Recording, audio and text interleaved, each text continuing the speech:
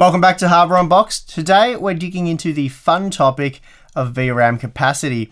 That said, this video isn't going to be an in-depth look at a wide range of graphics cards with varying VRAM capacities. Instead for this one, we're going to be looking at the 2GB and 4GB versions of the GeForce GTX 680.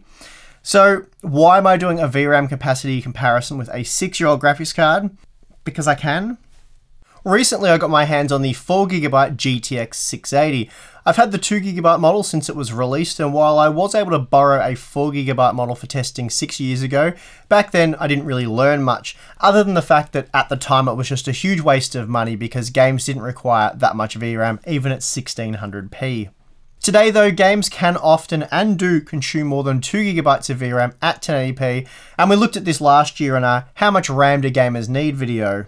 The question is though, how much, if any, impact does this have on frame rate performance, and are there any other drawbacks to having 2GB of VRAM opposed to 4GB or more? In our recent GTX 680 revisit using the more common 2GB version, I was often told the results were misleading and if I had used a 4GB version of the GTX 680, it would have been much faster in today's games. Then shortly after that video, I revisited the R9 280X and I included just the 4GB version of the GTX 680 to see if anyone noticed. As it turns out, it seems only the AMD fans noticed and they screamed biased as I was misrepresenting the GTX 680 by using the 4GB version, which is naturally much faster. This isn't new either. The hottest talking point of my 2016 video, Can the GTX 1050 Ti outperform 2012's $500 flagship GTX 680, was the fact that the GTX 680 was handicapped by the 2GB memory buffer, and it'd win for sure if it had 4GB like the GTX 1050 Ti. Anyway, let's not worry about that and move on to the results. I have some graphs for you guys, followed by some side-by-side -side gameplay footage, which reveals something very interesting, but we'll get to that in a moment. For now, let's check out the graphs.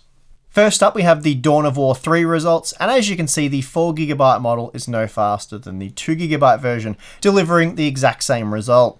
I should note I did attempt to clock both models at the same frequency, but the 2GB model would often clock itself about 2% higher, so keep that in mind as we continue to go over the results. The Dirt 4 performance was also much the same, though the 2GB model did come out slightly ahead, but with less than a 2% difference. That's certainly within our margin of error, especially given the possible clock speed difference. Ghost Recon Wildlands still exceeds the 2GB usage even with the low quality settings, but despite that the 4GB model appeared no faster. Then we have Mass Effect Andromeda, and here we see performance again is much the same with either model. Battlefield 1 is one of the few games I've tested maxed out, and even here the 4GB model is only slightly faster.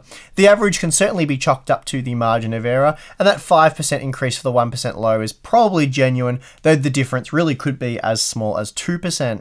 The 2GB version was consistently faster in Prey, and 2 FPS might not be that much here, but there is a little more to this story, and I will look at that in a moment.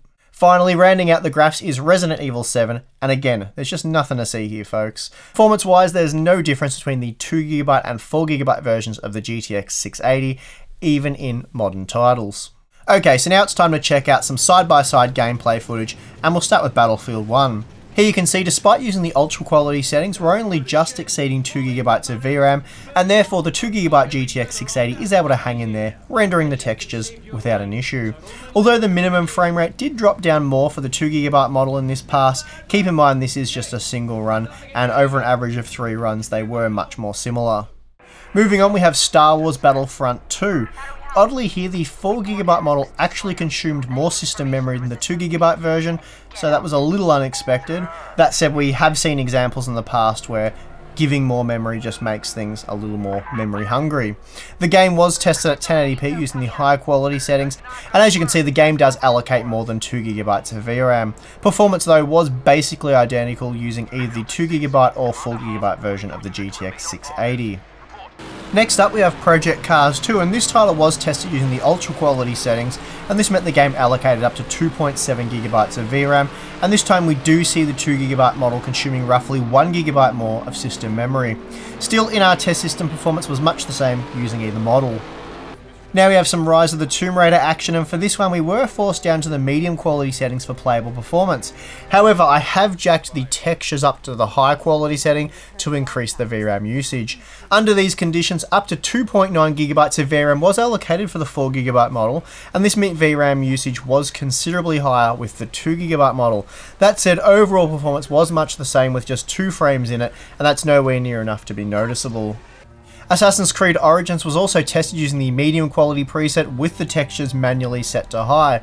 This saw VRAM usage peak at 2.5GB, though like Star Wars Battlefront 2 we find that RAM usage was actually lower with the 2GB card, so again a very curious result. Last up we have Prey, and this is the most interesting title. This game was tested using the high quality preset and VRAM usage did peak at 3.1GB, but if you recall the 2GB model was faster in our previous Prey benchmark. If you haven't already noticed, the reason for this seems to be the fact that the 2GB model simply isn't even attempting to render most of the textures. Here's a better look at the issue. I noted this was happening in our GTX 680 revisit a few weeks ago. I said the game was very playable and quite smooth in fact, but it just looks horrible with most of the textures missing, and now you can see what I mean. So when it comes to benchmark numbers, for the most part, the VRAM capacity has little impact on performance.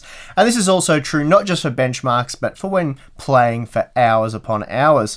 Unless you have a very limited amount of system memory or the memory you're using is very slow, then chances are spotting the difference is going to be very unlikely. Now, as you've just seen, visual quality can be significantly impacted depending on the game. Prey is the only title I came across where the 2GB GTX 680 was noticeably worse, but there'll no doubt be other titles as well. Of course, it was still playable, it just looked pretty ordinary. Tweaking the quality settings to better balance the load might help, but really you will be more limited with what you can do with the 2GB model. Basically, what all this means is if you can get your hands on a 4GB version of the GTX 680 or any other graphics card for that matter, then it's worth doing if you're not paying an exuberant price premium over the 2GB model. Looking at budget graphics cards like the RX 550, you can at times get the 4GB version for just $10 more, and I would suggest you do so. Sometimes though, you will be faced with a $40 premium and that's where things get a bit iffy in my opinion. For the most part, you won't see a 40% return on investment, especially if you're playing less demanding titles, such as Overwatch and Fortnite for example, so keep that in mind. Anyway, I hope this video helps clear up some misconceptions about VRAM capacity. Uh, more is certainly desirable, but it doesn't always mean better performance, so be careful how much you spend to nab that extra GDDR memory. If you did enjoy this video, be sure to hit the like button, subscribe for more content, and if you appreciate the testing we do here at Hardware Unboxed, then consider supporting us on Patreon. I'm your host, Steve. See you again next time.